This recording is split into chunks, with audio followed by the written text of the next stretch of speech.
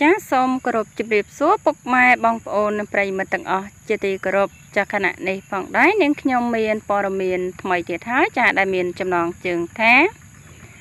ពេលមុនសង្ស័យបែកគ្នាឥឡូវសកលនេសាលុបចោលគម្រោងពប៉ុសលើកទី2ដោយសារតែ ចាស់សកលនេសាជាតារាចម្រៀងដ៏ល្បីប្រចាំព្រះរាជាណាចក្រកម្ពុជា កំពុងឈរជើងយ៉ាងរឹងមាំនៅក្នុងផលិតកម្មរស្មីហងមាសអ្នកនាងសកលនេសាត្រូវបានមហាជនខ្មែរស្គាល់គ្រប់គ្រប់គ្នាថា ជាតារាចម្រៀងដ៏មានឥទ្ធិពលមួយរូបដែលពោពេញដោយសមត្ថភាព មានសំនៀងទឹកដមចម្រៀងស្រទន់ពីរោះរំដំអង្រួនបេះដូង អ្នកស្ដាប់ឲ្យអណ្ដែតអណ្ដងទៅតាមសាច់ភ្លេង និងអត្តន័យចម្រៀងរបស់នាងគ្រប់គ្រប់គ្នាចានិយាយពីជីវិតគូសកលនេសា បានរៀបការជាមួយអនិកជនខ្មែរមកពីរដ្ឋ Boston សហរដ្ឋអាមេរិកលោកចៅសម្បត្តិកាលពីថ្ងៃទី1ខែធ្នូឆ្នាំ2017ដែលចំណងស្នេហាជាង5ឆ្នាំនេះ ពួកគេត្រូវមិត្តភ័ក្តិបងអាប់ថារកតែកូនងាមួយគ្រាប់មិនបាន ក្នុងនោះអ្នកខ្លះសង្ស័យថា នាងបែកគ្នាទៀតផងពាក់ព័ន្ធនឹងរឿងយកកូននេះសកលនិសាធ្លាប់បានបង្ហើបថា នាងអាចនឹងគិតគូររឿងយកកូននៅឆ្នាំ2021ព្រោះចាស់ទុំទាំងសងខាង ចង់ឲ្យនាងមានកូន តាំងពីក្រោយរៀបការហើយភ្លាមភ្លាមម្លេះប៉ុន្តែពីដំបូងនាងចង់ផ្ដល់កំណើតឲ្យកូនទី1ដោយកើតភ្លាមបានសញ្ជាតិអាមេរិកផ្លែតទៅត្រូវពន្យាពេលរហូតមកដល់ពេលនេះនេសាបន្តថាចៃដនអីនៅដើមឆ្នាំ2021ខ្លួនបានជួបសំណាងអាក្រក់តាមរយៈការកើត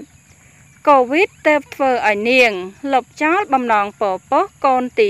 1ប្រុសសុខភាពនៅខ្សោយយ៉ាងណាសម្រាប់ឆ្នាំ2022នេះ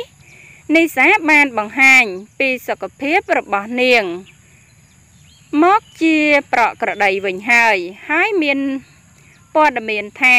នាងនឹងយកកូននៅខែធ្លាក់ភ្លៀងនេះទោះ យ៉ាងណាផែនការរបស់នាង ទំនងត្រូវបានលុបចោលវិញដោយហេតុថា នាងបានសម្រេចចិត្តជ្រើសយកការងារសិល្បៈតាមរយៈការបន្តចេញច្រៀងសម្ដែងនឹងធ្វើជាគ្រូបំវឹក The Voice Kids Cambodia រដូវកាលថ្មីថ្មីនេះ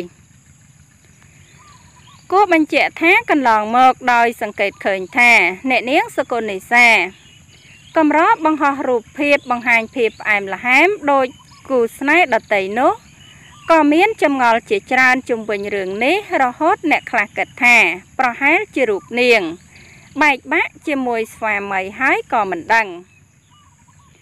ដើម្បីជំរះមន្ទិលជុំវិញរឿងនេះកន្លងមកតារាចម្រៀងរៀងតូចច្រឡឹងគូឲ្យស្រឡាញ់រូបនេះ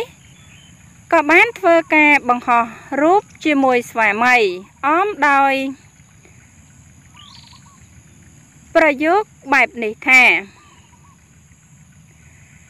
អ្នកគ្រប់គ្នាតែងតែសួរថាម៉េចក៏មិនដែលឃើញផុសរូបជាមួយម្នាក់ប្រុសនេះឥឡូវនេះជូនតាមសំណុំពរចាតាមរយៈសារនិងរូបភាពនេះ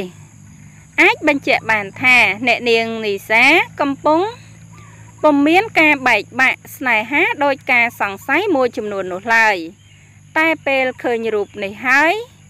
នោះមានអ្នកខ្លះនៅតែលើកជាចម្ងល់ថា មិនដែលឃើញស្វីតសោះជាការឆ្លើយតបជំវិញការលើកឡើងខាងលើនេះតារាចម្រៀងសកលនិសា បានធ្វើការបញ្ជាក់ថាទម្លាប់គ្រួសារម្នាក់ម្នាក់ខុសៗគ្នា ក្រោយឃើញការបកស្រាយបែបនេះ មានមតិមួយចំនួនធ្វើការគ្រប់គ្រងដោយលើកឡើងថា មែនហើយបង ប្តីខ្ញុំក៏អញ្ចឹងដែរគាត់មិនសូវចូលចិត្តថតរូបប៉ុន្មានទេ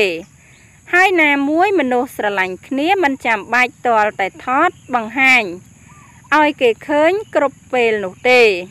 មែនអត់បងខ្ញុំយល់ស្របបងសំបីខ្ញុំក៏មិនសូវផុសរូបប្តីដែរចា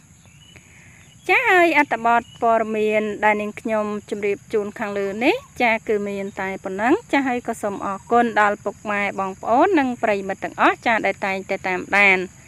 និងគាំទ្រនៅ Channel របស់នាងខ្ញុំ ជារៀងរហូតមក ចាសូមអរគុណសូមជម្រាបលា